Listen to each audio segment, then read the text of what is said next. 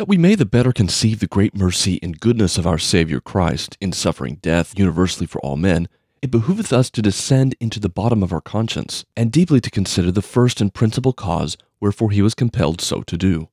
When our great grandfather Adam had broken God's commandment in eating the apple forbidden him in paradise at the motion and suggestion of his wife, he purchased thereby not only to himself, but also to his posterity forever, the full wrath and indignation of God, who according to his former sentence pronounced at the giving of the commandment, condemned both him and all his to everlasting death, both of body and soul. For it was said unto him, Thou shalt eat freely of every tree in the garden, but as touching the tree of knowledge of good and ill, thou shalt in no wise eat it. For in what hour soever thou eatest thereof, thou shalt die the death. Now as the Lord had spoken, so it came to pass. Adam took upon him to eat thereof, and in so doing he died the death, that is to say, he became mortal, he lost the favor of God, he was cast out of paradise, he was no longer a citizen of heaven, but a firebrand of hell, and a bondslave to the devil. To this doth our Saviour bear witness in the gospel, calling us lost sheep, which have gone astray, and wandered from the true shepherd of our souls. To this also doth St. Paul bear witness, saying that by the offense of only Adam, death came upon all men to condemnation, so that now neither he or any of his had any right or interest at all in the kingdom of heaven, but were become plain reprobates and castaways, being perpetually damned to the everlasting pains of hellfire. In this so great misery and wretchedness, if mankind could have recovered himself again and obtained forgiveness at God's hands, then had his case been somewhat tolerable, because he might have attempted some way how to deliver himself from eternal death. But there was no way left unto him. He could do nothing that might pacify God's wrath. He was altogether unprofitable in that behalf. There was not one that did good, no, not one. And how then could he work his own salvation?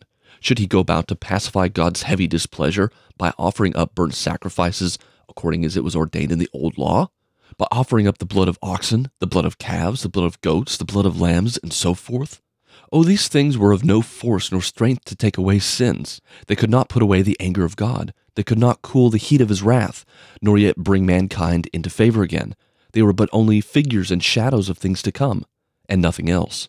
Read the epistle to the Hebrews. There shall you find this matter largely discussed. There shall you learn in most plain words that the bloody sacrifice of the old law was unperfect and not able to deliver man from the state of damnation by any means, so that mankind in trusting thereunto should trust to a broken staff, and in the end deceive himself. What should he then do? Should he go about to serve and keep the law of God divided into two tables, and so purchase to himself eternal life?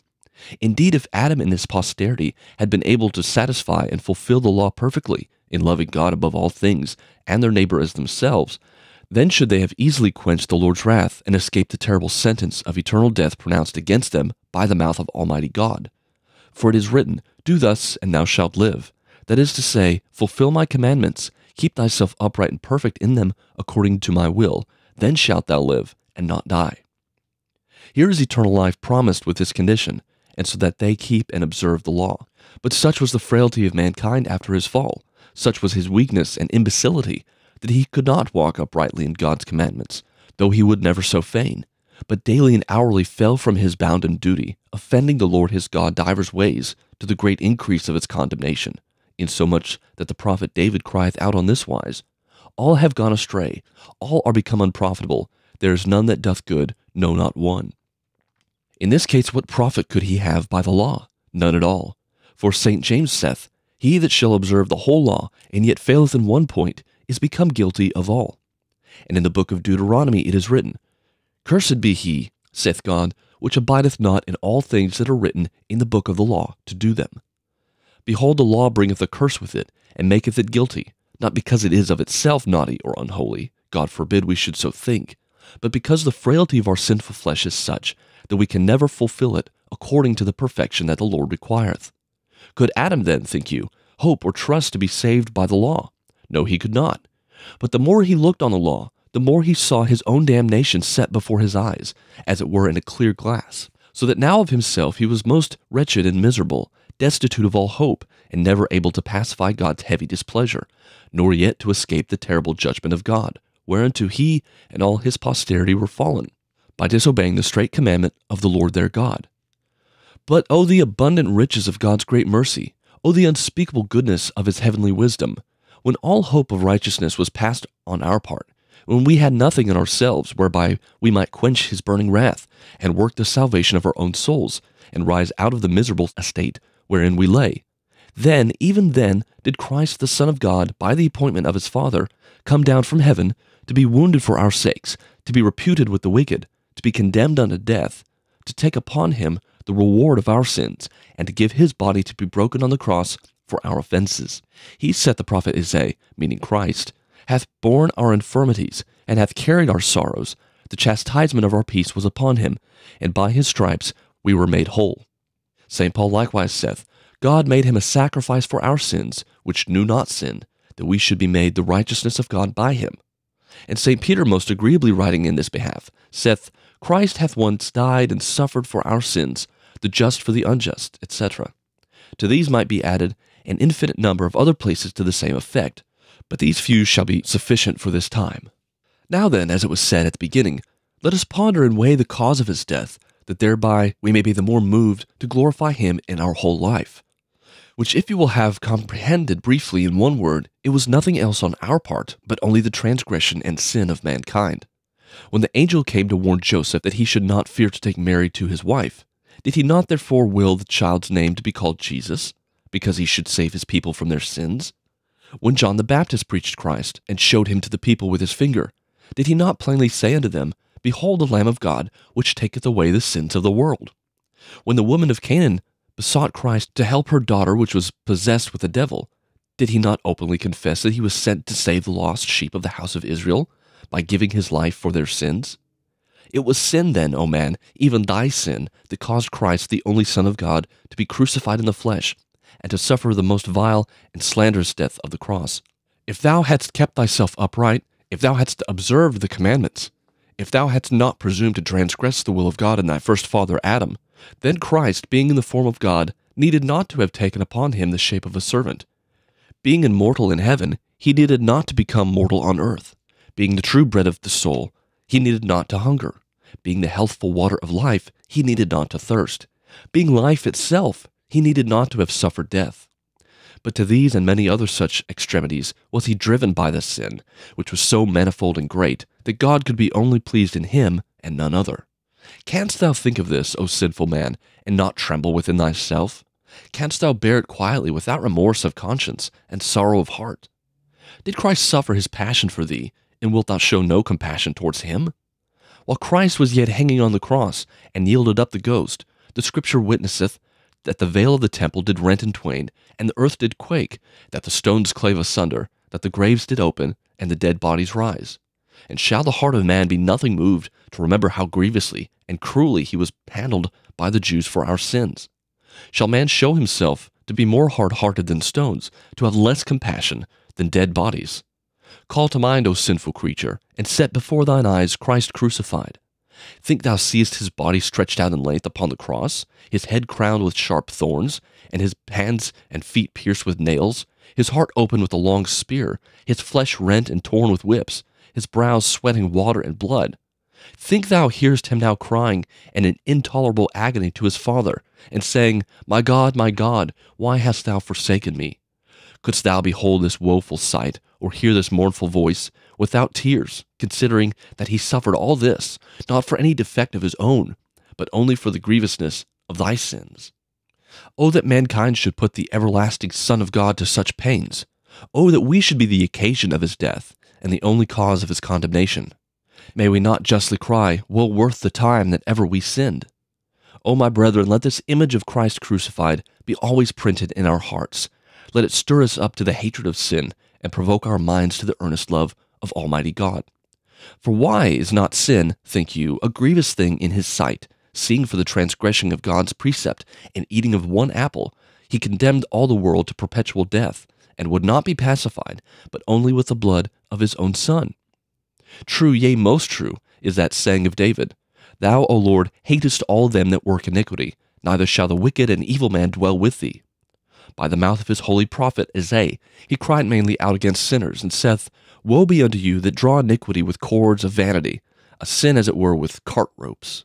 Did he not give a plain token how greatly he hated and abhorred sin, when he drowned all the world, save only eight persons, when he destroyed Sodom and Gomorrah with fire and brimstone, when in three days' space he killed with pestilence threescore and ten thousand for David's offense, when he drowned Pharaoh and all his host in the Red Sea, when he turned Nebuchadnezzar the king into the form of a brute beast, creeping upon all four, when he suffered Achitophel and Judas to bang themselves upon the remorse of sin, which was so terrible to their eye. A thousand such examples are to be found in Scripture, if a man would stand to seek them out. But what need we? This one example which we have now in hand is of more force, and ought more to move us than all the rest. Christ, being the Son of God, perfect God himself, who never committed sin, was compelled to come down from heaven to give his body to be bruised and broken on the cross for our sins. Was not this a manifold token of God's great wrath and displeasure towards sin, that he could be pacified by no other means but only by the sweet and precious blood of his dear Son? O sin, sin, that ever thou shouldst drive Christ to such extremity! Woe worth the time that ever thou camest into the world! But what booteth it now to bewail? Sin is come, and so come that it cannot be avoided. There is no man living, no, not the justest man on earth, but he falleth seven times a day, as Psalmist saith. And our Saviour Christ, although he hath delivered us from sin, yet not so that we shall be free from committing sin, but so that it shall not be imputed to our condemnation.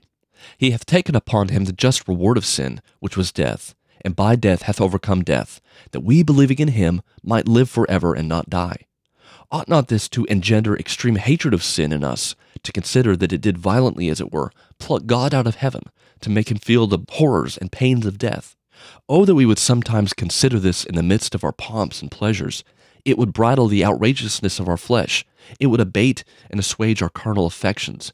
It would restrain our fleshly appetites, that we should not run at random, as we commonly do. To commit sin willingly and desperately, without fear of God, is nothing else but to crucify Christ anew, as we are expressly taught in the epistles of the Hebrews. Which thing, if it were deeply printed in all men's hearts, then should not sin reign everywhere so much as it doth, to the greatest grief and torment of Christ, now sitting in heaven. Let us therefore remember and always bear in mind Christ crucified, that thereby we may be inwardly moved both to abhor sin throughly, and also with an earnest and zealous heart to love God. For this is another fruit which the memorial of Christ's death ought to work in us, an earnest and unfeigned love towards God. So God loved the world, saith St. John, that he gave his only begotten Son, that whosoever believeth in him should not perish, but have life everlasting. If God declared so great love towards us, his filthy creatures, how can we of right but love him again? Was not this a sure pledge of his love, to give us his own Son from heaven? He might have given us an angel, if he would, or some other creature, and yet should his love have been far above our deserts. Now he gave us not an angel, but his Son. And what Son? His only Son, his natural Son, his well beloved Son, even that Son whom he had made Lord and ruler of all things. Was not this a singular token of great love? But to whom did he give him? He gave him to the whole world, that is to say, to Adam and all that should come after him. O Lord, what had Adam or any other man deserved at God's hands, that he should give us his own Son? We are all miserable persons, sinful persons, damnable persons, justly driven out of paradise, justly excluded from heaven, justly condemned to hellfire. And yet, see a wonderful token of God's love. He gave us his only begotten Son, us, I say, that were his extreme and deadly enemies, that we by virtue of his blood shed upon the cross might be clean purged from our sins and made righteous again in his sight. Who can choose but marvel to hear that God should show such unspeakable love towards us, that were his deadly enemies? Indeed, O mortal man, thou oughtest of right to marvel at it, and to acknowledge therein God's great goodness and mercy towards mankind, which is so wonderful that no flesh, be it never so worldly wise, may well conceive or express it. For St. Paul testifieth, God greatly commendeth and setteth out his love towards us, in that he sent his Son Christ to die for us, when we were yet sinners and open enemies of his name. If we had in any manner of wise deserved it at his hands, then had it been no marvel at all. But there was no desert on our part, wherefore he should do it. Therefore, thou sinful creature, when thou hearest that God gave his Son to die for the sins of the world, think not he did it for any desert or goodness that was in thee, for thou wast then the bondslave of the devil. But fall down upon thy knees, and cry with the prophet David, O Lord, what is man that thou art so mindful of him, or the Son of man that thou forgivest him? And seeing he hath so greatly loved thee, endeavor thyself to love him again, with all thy heart, with all thy soul, and with all thy strength, that therein thou mayst appear not to be unworthy of his love. I report me to thine own conscience, whether thou wouldst not think thy love ill bestowed upon him, that could not find in his heart to love thee again. If this be true, as it is most true, then think how greatly it behoveth thee in duty to love God, which hath so greatly loved thee, that he hath not spared his only Son from so cruel and shameful a death for thy sake. And hitherto concerning the cause of Christ's death and passion, which as it was on our part most horrible and grievous sin, so on the other side it was the free gift of God, proceeding of his mere and tender love towards mankind, without any merit or desert on our part. The Lord, for his mercy's sake, grant that we never forget this great benefit of our salvation in Christ Jesus, but that we always show ourselves thankful for it, abhorring all kind of wickedness and sin, and applying our minds wholly to the service of God and the diligent keeping of his commandments. Now it remaineth that I show unto you how to apply Christ's death and passion to our comfort, as a medicine to our wounds, so that it may work the same effect in us wherefore it was given, namely, the health and salvation of our souls. For as it profiteth a man nothing to have salve, unless it be well applied to the part infected, so the death of Christ shall stand us in no force, unless we apply it to ourselves in such sort as God hath appointed. Almighty God commonly worketh by means, and in this thing he hath also ordained a certain mean, whereby we may take fruit and profit to our soul's health. What mean is that? Forsooth it is faith, not an unconstant or wavering faith, but a sure, steadfast, grounded, and unfeigned faith God sent his Son into the world, saith St. John, to what end? That whosoever believeth in him should not perish, but have life everlasting. Mark these words, that whosoever believeth in him. Here's the mean whereby we must apply the fruits of Christ's death unto our deadly wound. Here's the mean whereby we must obtain eternal life, namely faith. For St. Paul teacheth in his epistle to the Romans, With the heart man believeth unto righteousness, and with the mouth confession is made unto salvation. Paul, being demanded of the keeper of the prison what should he do to be saved, made this answer Believe in the Lord Jesus, so shalt thou and thine house both be saved. After the evangelist had described and set forth unto us at large the life and death of the Lord Jesus, in the end he concludeth with these words These things are written that we may believe Jesus Christ to be the Son of God, and through faith obtain eternal life. To conclude with the words of St. Paul, which are these Christ is the end of the law unto salvation for every one that doth believe. By this, then, you may well perceive that the only mean and instrument of salvation required of our parts is faith, that is to say, a sure trust and confidence in the mercies of God, whereby we persuade ourselves that God both hath and will forgive our sins, that he hath accepted us again into his favor, that he hath released us from the bonds of damnation, and received us again into the number of his elect people, not for our merits and deserts, but only and solely for the merits of Christ's death and passion, who became man for our sakes and humbled himself to sustain the reproach of the cross, that we thereby might be saved and made inheritors of the kingdom of heaven. This faith is required at our hands. And this, if we keep steadfastly at our hearts, there is no doubt but we shall obtain salvation at God's hands, as did Abraham, Isaac, and Jacob, of whom the Scripture saith that they believed, and it was imputed unto them for righteousness. Was it imputed unto them only? And shall it not be imputed unto us also? Yes, if we have the same faith as they had, it shall be as truly imputed unto us for righteousness as it was unto them.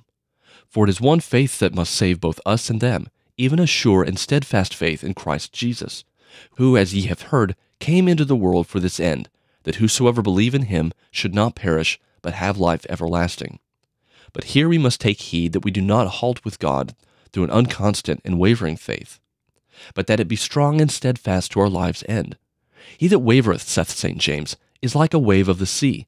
Neither let that man think he shall obtain anything in God's hands. Peter coming to Christ upon the water, because he fainted in faith, was in danger of drowning. So we, if we begin to waver or doubt, it is to be feared lest we shall sink as St. Peter did, not into the water, but into the bottomless pit of hellfire. Therefore I say unto you that we must apprehend the merits of Christ's death and passion by faith, and that with a strong and steadfast faith, nothing doubting, but that Christ by his own oblation and once offering of himself upon the cross hath taken away our sins, and hath restored us again into God's favor, so fully and perfectly that no other sacrifice for sin shall hereafter be requisite or needful in all the world. Thus have you heard in few words the mean whereby we must apply the fruits and merits of Christ's death unto us, so that it may work the salvation of our souls namely, a sure, steadfast, perfect, and grounded faith. For as all they which beheld steadfastly the brazen serpent, were healed and delivered at the very sight thereof, from their corporeal diseases and bodily stings. Even so, all they which behold Christ crucified with a true and lively faith shall undoubtedly be delivered from the grievous wounds of the soul, be they never so deadly or many in number. Therefore, dearly beloved, if we chance at any time through frailty of the flesh to fall into sin, as it cannot be chosen, but we must needs fall often, and if we feel the heavy burden thereof to press our souls, tormenting us with the fear of death, hell, and damnation, let us then use that mean which God hath appointed in his word, to wit, the mean of faith, which is the only instrument of salvation now left unto us. Let us steadfastly behold Christ crucified with the eyes of our heart. Let us only trust to be saved by his death and passion, and to have our sins clean washed away through his most precious blood, that in the end of the world, when he shall come again to judge both the quick and the dead, he may receive us into his heavenly kingdom, and place us in the number of his elect and chosen people, there to be partakers of that immortal and everlasting life, which he hath purchased unto us by virtue of his bloody wounds. To him, therefore, with the Father and the Holy Ghost, be all honor and glory, world without end. Amen.